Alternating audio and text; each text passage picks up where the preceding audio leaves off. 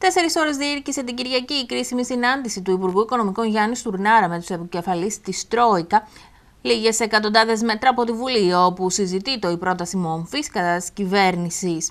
Όπως έγινε γνωστό, θα υπάρξει νέα συνάντηση της Τρόικας με το Οικονομικό Επιτελείο την Τρίτη. Η Τρόικα θα παραβρεθεί στο Eurogroup της Πέμπτης, αλλά παραμένει άγνωστο αν θα επιστρέψει μετά στην Αθήνα. Σύμφωνα με τον υψηλόβαθμο παράγοντα του Υπουργείου Οικονομικών στη συνάντηση της Κυριακής, άνοιξαν όλα τα φύλλα των διαπραγματεύσεων. Ειδικότερα τέθηκαν επιτάπητος ο προπολογισμό του 2013 και ο προπολογισμό του 2014, η εξελίξη στον τραπεζικό τομέα, οι αναγκαίες διαρθρωτικές παρεμβάσεις.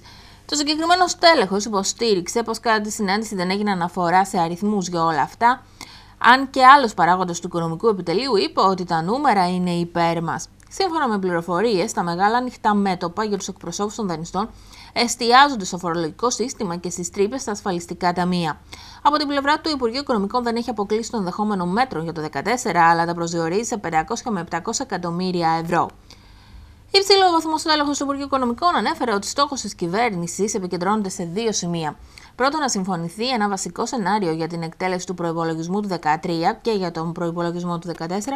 Και δεύτερον, να εξεταστεί το κατά πόσον οι παρεμβάσεις από το Υπουργείο Εργασίας και τα αποτελέσματα από τη φορολογική συμμόρφωση και τη φορολογική διοίκηση υπερκαλύπτουν το δημοσιονομικό κενό του 2014. Ωστόσο, ο παράγοντας που παρακολουθεί εκ του σύνεγγυς τι διαπραγματεύσεις δηλώνει ότι αποκόμισε την εντύπωση πως οι επικεφαλεί της Τρόικας δεν επίγονται να ολοκληρωθούν οι συζητήσεις.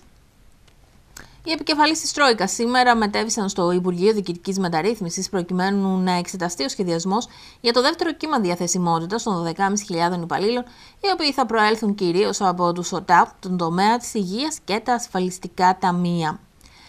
Χθες ενδιαφέρον παρουσίασε η ομιλία του Υπουργού Οικονομικών Γιάννης Τουρνάρα στο βήμα της Βουλής. Κύριε Τσίπρα, περιμέναμε 25 λεπτά να ακούσαμε κάτι. Δεν ακούσαμε απολύτως τίποτα. Ούτε μία πρόταση πολιτικής, παρά μόνο απειλές για εξεταστικές επιτροπές, για φυλακίσεις. Αυτό νομίζω δεν είναι σωστό. Τώρα, είπατε ότι αποτύχαμε. Πού αποτύχαμε, Επί 1,5 χρόνο που είμαι εδώ, επενδύεται στην καταστροφή. Θυμόσαστε πέρυσι που λέγατε ότι δεν θα υπάρχει συμφωνία; Πήγαμε στο Eurogroup και πήραμε 50 δισεκατομμύρια ενώ περιμέναμε 35. Βάλαμε ρήτρα μείωσης χρέους. Θυμόσαστε ότι πέρυσι πληρώσαμε 12 δισεκατομμύρια τόκους. Φέτος 6 δισεκατομμύρια. Πώς έγινε αυτό, Μειώθηκαν τα επιτόκια. Σπρώχθηκαν προς τα πίσω τα χρεολύσια. Δεν, δεν ελαφρύνεται έτσι ο ελληνικός λαός. Ποια είναι η δική σας πρόταση, που λέτε ότι, ότι θα, θα μείνουμε στο ευρώ, αλλά θα σκίσετε το μνημόνιο και θεωρίες ότι τα μνημόνια τα σκίζει ο λαός. Πού τα λέτε αυτά, Ποιος τα ακούει αυτά; Και όταν απειλείτε επενδυτές που θα έρθουν, θα μείνουμε έτσι στο ευρώ με απειλές επενδυτών. Αλλά αυτό δεν είναι το, το χειρότερο. Το χειρότερο είναι η υποκριτική στάση που λέτε για τη φοροδιαφυγή, για τα μεγάλα συμφέροντα. Φέραμε στη Βουλή και ψηφίσαμε φορολογικούς κώδικες. Φέραμε και ψηφίσαμε ε, την, ε, διαδικασία, την ε, ε, φορολογική διαδικασία. Τι κάνουν αυτοί οι δύο κώδικες; Κλείνουν τρύπες για τις offshore, για την υποκεφαλαιοποίηση. Τα ψηφίσατε; Ψήφισατε όχι.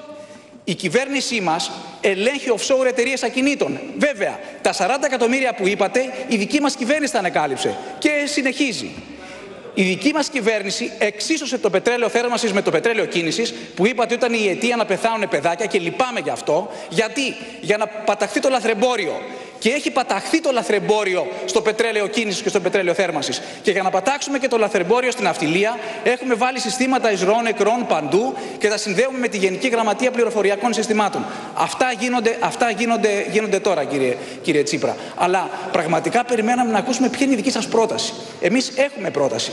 Το αν αποτυγχάνει το, το, ε, το πρόγραμμά μας, οι αγορές το κρίνουν ε, πρώτα απ' όλα. Γι' αυτό από πέρυσι μέχρι σήμερα τα επιτοκιακά περιθώρια έχουν πέσει τόσο πολύ. Γι' αυτό η πιθανότητα να βγει η Ελλάδα από το ευρώ είναι πλέον μηδενική. Ενώ μέχρι πριν από λίγο καιρό ήταν πάνω από 50%. Εσείς έχετε επενδύσει στην καταστροφή. Δεν σας βγήκε. Απλά και δεν καταλαβαίνω την πρόταση μομφής. Την κάνατε προφανώς διότι πήγατε στην Αμερική, είπατε το σωστό και υιοθετείτε τη θέση μας ότι πρέπει να μείνουμε στο ευρώ και την άλλη μέρα βγήκε ο ρημαγδός από στελέχη σας που σας κάναν κριτική. Εγώ νομίζω ότι αυτή η πρόταση μομφή είναι μια ένδειξη αμηχανίας. Ευχαριστώ πολύ κύριε Πρόεδρε.